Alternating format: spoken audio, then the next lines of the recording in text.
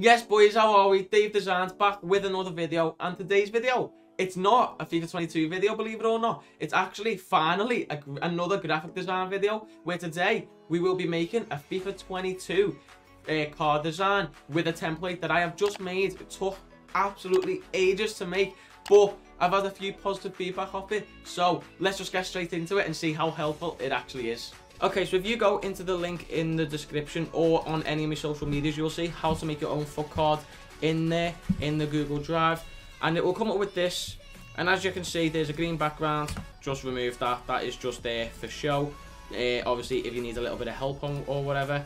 But you want to get rid of nation and badge, text and lines, card bar, and player render as we are not bothered about that for now because all we are doing is designing the actual card itself. So as you can see here, we have inside borders where you get a choice, so you can have either one, two, or three, as you can see. And then um, on the outside borders, again, you have a choice of one, two, or three. But in this, uh, so obviously you can choose whatever like whatever you like. And as you can see here, there are textures, um, obviously different types of like brushes in there that you can use. The tick whatever, whatever, whatever. So you can change all the colours on this. Do what you like, have fun, and whatever. As you can see, you can change the colour of anything. But this is what I made. I made a FUT birthday card. So as you can see here, we started off with a clean background. And then this is the important part. So the layer above was there like that. That is that that is in the how to make your own FUT card PSD. In this, we move the layer down to above the clean background and then clip and mask it onto that because we need the texture. We need the texture above it. We can't have it below as you can see it doesn't work. We need it above. So now that we've done that then what we want to do is um, I added some confetti which isn't in the PSD obviously you can add your own things as well. Uh, then I added uh, the overlay in the top left.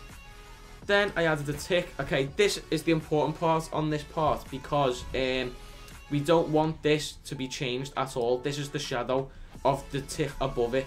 As you can see, we've added a pinkyish tick um, going off the last last FIFA's FUT birthday. Then we added the two lines, we made them blue. Then we added the net, we made it white. Then we added the faded bottom, as you can see, we made it purple. Okay, now that we've done that, we wanted to add some borders. So we added number two for the outer border, as you can see. And then for the inside border, we made it number one. So that is the FUT birthday card that we made with two little balloons on the outside, as you can see, because it's got pink going from pink here to pink and then purple to purple from there. So now once you've done that, you want to merge the whole card together, go to filter, camera raw filter, and now I say this in every design and video possible, every single time I say camera raw filter. Now you just want to change around with the settings, have a little bit of fun. You want to make it look better. You just make it look better. Uh, this is just for the for example I've already done the cards, but as you can see, so it went from this to this. Uh, we could actually turn the vibrance up and then like the saturation down, just like that. Uh, yeah, that's quite that's actually a lot better, isn't it? So now that we've done that, as you can see, it's changed for the better. Then see where it says player render. Um, this dynamic gradient here, that is also important that you change. So as you can see, this is the fade for Messi. So color overlay, and then you can make it any, any color you want. As you can see, pink, blue, but we want to make it purple so the so the fade is very clean. Same with the card bar, you don't want it to be black. We need it to be very clean. So again, we're going with dark purple. So purple, dark, uh, we'll go with that one. That one's fine, isn't it? That one's fine. Add the text on line. So Messi, right wing, whatever, whatever. And then nation and badge. But if you do want to change player to like, let's say De Bruyne, uh, nation. As you can see, it's a smart object. So that means you can open up the file, open it up. De Bruyne is obviously from Belgium. Uh, so you obviously got to look for Belgium. Make sure that everything else is like closed off. So Belgium is there. Once you've got it, then you want to press Control and S so it saves. Close that and obviously it just automatically changes to Belgium. And then again, same with the badges. You want to get rid of League One, go to Premier League, go down to Man City, take away Manchester United. Again, Control S to save. and then boom, there we go. Obviously, you can just add a player, obviously add De Bruyne, whoever you want, and once you've done that, then you can save it. I think that is all done. But if you do have any questions, please make sure, you know, to leave leave them or whatever. I think that's everything I need to tell you for now. Um, I will be updating this every so often if obviously new new things come out or whatever for the cards.